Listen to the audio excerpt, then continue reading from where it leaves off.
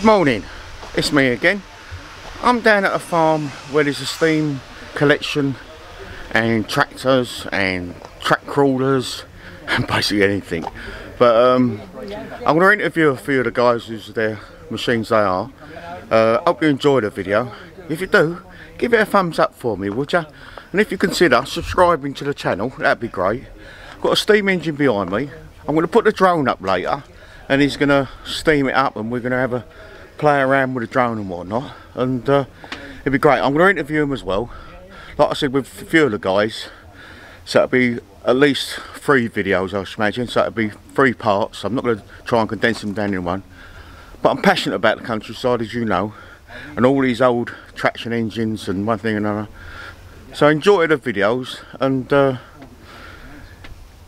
enjoy it with me. Thanks for now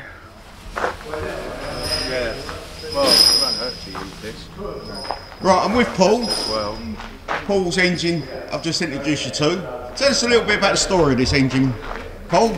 Uh, Can you walk this way you can stand beside it? it was new in, in uh, 1873, February. Yep. Um, it's new to a chap in Wiltshire. um, it stayed in that sort of area most of its working life.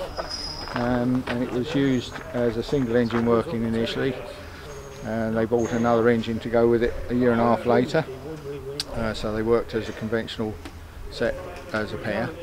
Yep. um, and eventually were sold several owners and um, in the about the 30s it was laid up um, later on they were sold separately uh, one, this one was stripped down as a soil sterilising plant and um, sent to the Isle of Wight where it ended up um, you know disused uh, long, long, long time later and eventually it was sold in a sale on the Isle of Wight sent up to the Midlands, and that's where the, my story sort of ki- kicks You in. purchased it from I bought you? it from a chap that had bought it. The, the guy that had bought it at the, at the auction had bought it just for the wheels, Yep.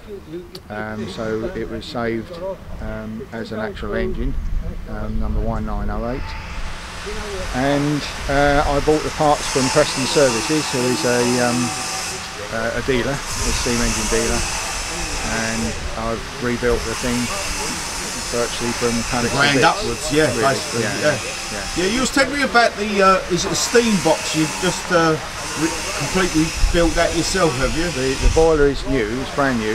Um, we built most of that here. Um, we've had a few parts rolled, uh, the barrel.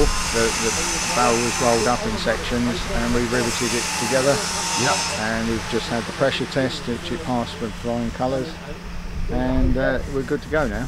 So Okay. it's, we've got several bits to finish the engine. We've got to make the road train gears, which will sit on there, there and back here. And that will make it go along. Yep. Um, and also the other side, uh, we need a, a shaft that drives from the crankshaft to drive the, the drum, which Okay. does the clamming. So tell, tell, point out the original pieces of the engine because obviously the, the boiler and uh, the barrel is what you This fabricated This yourself. is all new. So the cylinder block, the front axle, uh, the steam turret on the back, and various other bits and pieces. Um, and anything else I've either managed to get original founder parts for, or we've made them. So we've made the back wheels. The axles all original, are they? The axle, that front axle is original. Yeah. Um, the back one is new. Um, we've made the wheels new. We've made one front wheel. Um, You fabricated them yourself, have you? yes, they, these have been made here, Yeah. Really?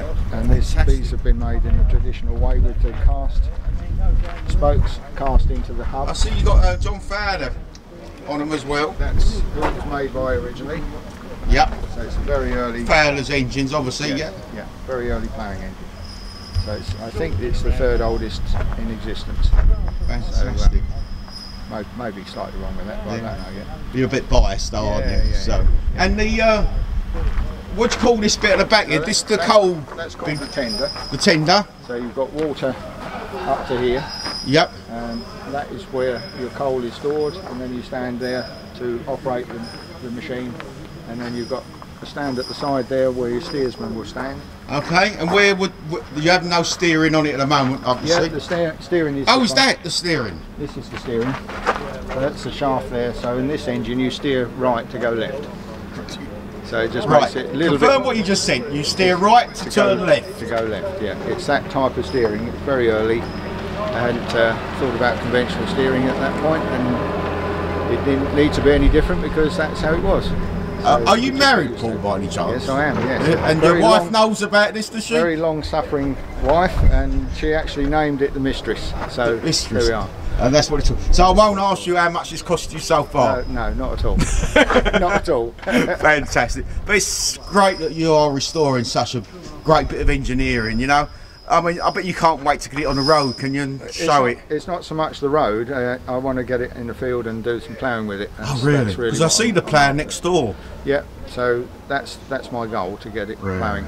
So that's um, after all these years. Um, as I say, I think we it was laid up in the 30s, so it'd be 90 years since it was last steamed.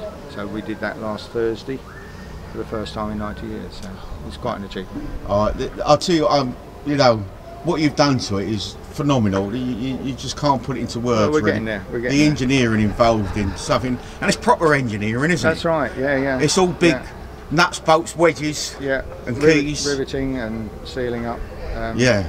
And the paintwork alone, I mean, just if I can just pan around and look at the, the pin striping and the paintwork you've done. It's all part of it, and just trying to replicate what have been there originally. Yeah, so this, um, I'm going to point to this area. This is what's going to go there. Right, you've got a shaft that comes down through here, down to the bottom, and you've got a gear on the bottom, Yep. and the winding drum sits on those bolts there Okay. and holds the cable. So there's a gear on the end of this shaft, which is driven by the crankshaft, this bit. Yeah. So when the engine turns, that turns and turns the cable drum and pulls the plough from one end of the field to the other. Gotcha. Gotcha. Yep, please. Yep. So you've done. a cou- You've obviously had some help doing it. Paul. Well, my friend there, Ian, um, he's helped me along the way. Um, he comes up Saturdays and whenever he can. Yeah. Um, and when we've got a big job to do, like the riveting, you know, we, we have, we've had a team of guys Yeah. that we all know what we're doing and, and set to and uh, and get the riveting done. So. I'm going to introduce Ian. Give us say hello to me. You're obviously one of the uh, Paul's hard workers. No, just apprentice. Just an apprentice. Just apprentice. Do you enjoy doing this? Love it. Love it. Love it. I bet you can't wait as well to see it all steamed up and running properly, can you? No, no, no. It's it's, it's uh, uh, a, a, a absolute work of art. I'm, I'm very been very privileged to help him. Yeah, I suppose that another way you haven't got any putting money into it neither as well. Absolutely. What's that?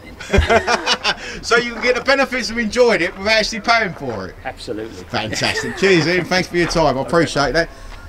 Right, Paul, I'm going to leave you now. What I'm going to do then is put the drone up later and we'll have it steaming. Yep. Okay. And, uh, it'll look really good. yeah. Lovely. Thanks for your time. I No appreciate problem. that. No problem.